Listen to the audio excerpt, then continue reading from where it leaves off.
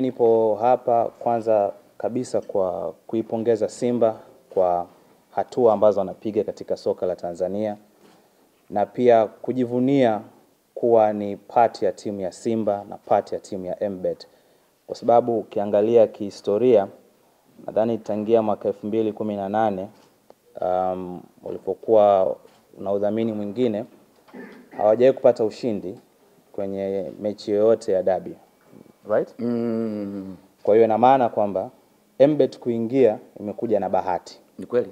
ndio? Mm.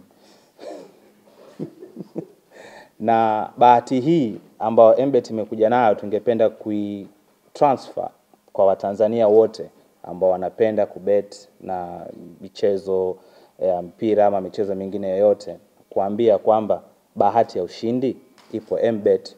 We bet na MBet utashinda. Simba hawa hapa wana udhamini wetu na wameshinda.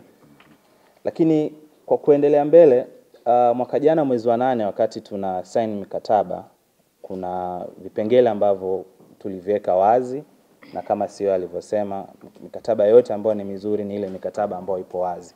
Uwazi wa mkataba huu pia ilikuwa ni kutoa bonus kwa Simba katika kila stage ambao watafika kwenye mashindano yote ambao watakuwa wana participate. Mashindano ambayo yako mbele yetu kwa sasa hivi ni mashindano ya Champions League na kimkataba MBet iliahidi kwamba Simba ikitoka hatua ya actually ilikuwa ni kuanzia hatua ya group stage kutoka group stage uh, quarter finals, semi finals, mshindi wa tatu na kuwa mshindi kabisa wa CAF uh, Champions League games. Na leo hii tuko hapa ni kwa ajili ya kuipongeza kwa ajili ya group stage kwa sababu tayari tumeshamaliza group stage, kuwapongeza kwa ajili ya kwenda sasa um, quarter finals.